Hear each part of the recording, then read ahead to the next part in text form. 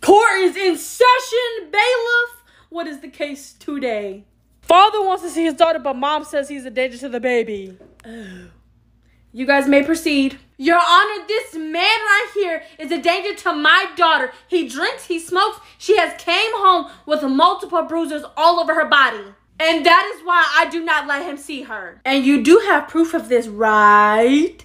Um, excuse me, my damn word is not enough. Why do I have to provide proof? Ma'am, what type of fool do I look like? Your word is not enough. But please find me something, but until then, zip it! So, sir, what is your argument? Your Honor, everything that she's saying is a lie. I've never put my hands on my daughter. The only reason why she is so upset and won't let me see my daughter is because I have a new girlfriend. Ma'am, is that true? Do you not allow him to see his daughter because he has a new girlfriend? I mean, yeah, but I don't know his new girlfriend, so that new girlfriend do not need to be around my baby. I told him to get rid of her or he was not seeing his baby because I fear for my daughter's life. So you lied about the abuse that your daughter has been receiving from your baby daddy. Is that correct? I mean, yeah, if you want to see it that way. Look, I fear for my daughter's life, so I had to lie. Okay, so here's what I'm gonna do, ma'am. You're gonna pay a fine of $500. Yep, that's right, today. What? Are you serious? Are you stupid? What is the fine for? If you would have let me finish, I would have explained it to you. This fine is for lying about child abuse because if I would have just taken your word and ran with it, this man would have been in jail. All because you don't like his new girlfriend because you are jealous that he is going out with someone else that is not you. That is not a good enough reason to sit up here and lie and ruin somebody else's life. And sir, you and her will have 50-50 custody. She will get her Monday through Thursday. You will get her Thursday night through Sunday night. Next case! You know what? You're stupid and you're weird, you fat squash. Oh, the name is Squishy. Bye bye. You rock, Squishy. I know, thanks. I love you, Squishy. Bailiff, what is the case for today? Well, Squishy, today's case is child support. The mother wants to put her ex husband on child support. Um, okay, okay. Proceed. Okay, you may proceed with your argument. I work two jobs. I'm a full college student. And I asked my ex-husband to help me with the kids, but he just tells me, oh, it's my job to take care of them. Because I birthed them. Uh, yeah, buddy, is it? Did you say that? Oh, yeah, of course I said it, Your Honor, but it's true. She did birth those kids, so she should be able to raise those kids. Those kids? Buddy, how was you brought into this world? Hmm? My parents, sir? Mm. Did I hear parents? Did I hear parents? Like mom and daddy, mama and daddy, Mr. Buddy. Yes, sir. Yep, yep, that's what I thought. So why would you let some foolishness like that come out of your mouth? Why? She didn't birth these kids by herself, so she should raise these kids by herself. Do you get my point? Yes, sir. Okay, how much do both of you make? 40k a year. Okay, that's good. And how about you, buddy? About $400,000 a year. About $400,000 a year. How much do you give your ex-wife? Mm, 220 a month. Sir, you pay her $220 a month, but you make $400,000 in a year. 220 $400,000. 400 that whatever, you make that much. Oh!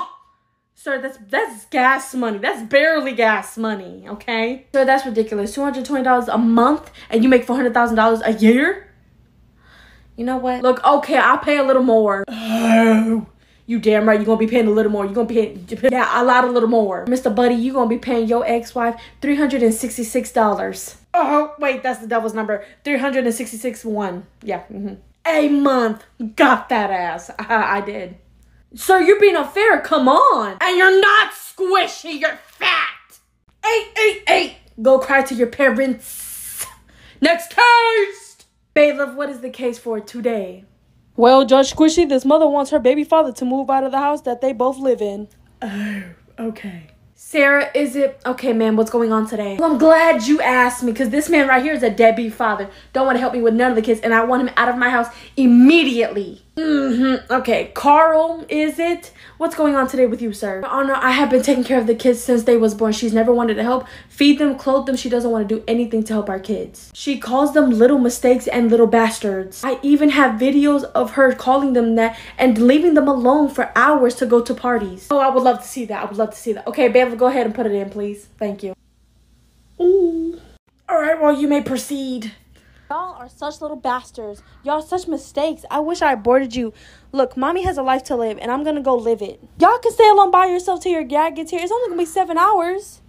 Yes, Toby, put my toes in your mouth. Toby, don't forget the big toe. Oh, you taste a little fungus? Oh, that's my bad. Sarah, it tastes like cheese. No, Toby. Well, ma'am, you need to go to jail. Cause ew. Where's Toby? Because I need to put him in jail to hell too. They love people who love sucking toes. You know what I'm saying? Yeah. Ew. Oh, sorry. My bad. Lost my composure there for a minute. Well, Cara, I see what you're. I see what you're bringing me. I see it. I smell it. So, Cara, I see your point. And Sarah, you have no point you have no point, okay? Cara, here's what I'm gonna do. You are going to be able to stay in the house where you're raising your beautiful babies, by the way. Beautiful. Thank you. Okay, you guys are good to go. And Sarah, you're moving out immediately. Immediately. Are you serious? You're I have nowhere to go. Mm, but you didn't care if your kids didn't have nowhere to go. So maybe you should go ask toe sucking Toby if you can crash at his place. Yeah, I went there. Ugh. Court is adjourned. Now, if you excuse me, I have to go beat a 12 year old at Go Fish. Goodbye. Squishy out. Ooh. Court is in session. Bailiff, let me hear the next case, please. Baby daddy is suing his girlfriend for trying to put him on child support. Your Honor, I work to go to school. I take care of our one year old, and all I ask is for $500 a month from him. Okay, why did it take you a year to put him on child support? I was told to never get the law of the court involved, otherwise, I'd be known as a traitor and a snitch. Which is not true. Okay. Sir, now you may proceed. I already told her I didn't want nothing to do with this baby, so why the hell do I have to pay child support? Did you tell her after y'all did the nasty, or did you tell her after the baby was born? Why does it matter when I told her? Oh, oh, it matters, sir. Tell me. I told her before the baby was born. Ma'am, is that true? No, he's lying. He told me over text that he wanted to have a baby with me. I told him I wasn't ready, and he said if it happened, it just happened and he'll be there. Sir, you have lied to me and you lied to her. so guess what? You're gonna be put on child support today. You're damn right you are. But what if I don't want the kid? Shouldn't you respect that? Sir, you misled her from the beginning. You told her that if she was to get pregnant that you would be there. But every dude said that to get some. That's the problem. Because if you would have been honest to her and told her that, look, I'm only here to get in your pants, to do the nasty, I won't say if a baby comes up out of this. That would be very different. But that's not the case here. You misled her. She trusted you enough. She felt comfortable with you enough to do the nasty with you, thinking that if a baby was to come from this, you would be around. Because of what you told her. This is bull. You suck, bro. You a man. You supposed to be on my side. Uh-huh. There is no size. Wrong is wrong and right is right. You will pay her half of your check. We'll have officers doing random checkups on you to make sure that you are safe because I know that sometimes when you put people on child support, they want to get a little petty and try to threaten people's lives. Bam, bam, water, water, bing, bang. Next case! You need to go to hell, you bastard! If hell smells like your breath, then I'd rather not go, ha ha. Ma'am, why are you crying? You opened up 38 credit cards in your daughter's name and you're the one crying? And your point is, well, because I can't mess up my good credit and she can still fix hers. Your Honor, I can't even get a busted down apartment because whenever they looked at my credit score, it was so bad that they laughed in my face. Ma'am, I'm more mad at what the hell you bought with these damn credit cards. Um, excuse me, those are private. You can't read those out loud. It's not on your credit history, remember? So, Lexi, do you mind if I read it out loud? Oh, yeah, sure. Go ahead. Well, ma'am, you bought three TVs, eight couches, nine big daddy swings, four big juicy, um, wieners, and KFC multiple times, ma'am.